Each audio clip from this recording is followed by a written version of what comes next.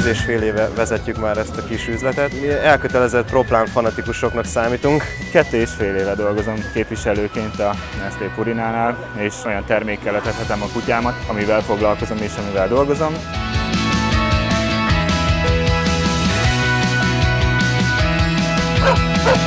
Díjnyertes kacskóim vannak. Négy évet tetek proplentápot, szerintem az egyik legjobb táp.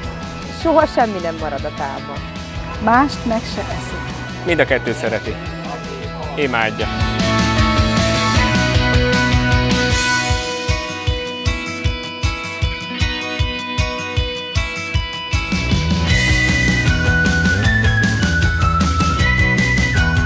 Bocsi, sietek, a kutyák már nagyon éhetek.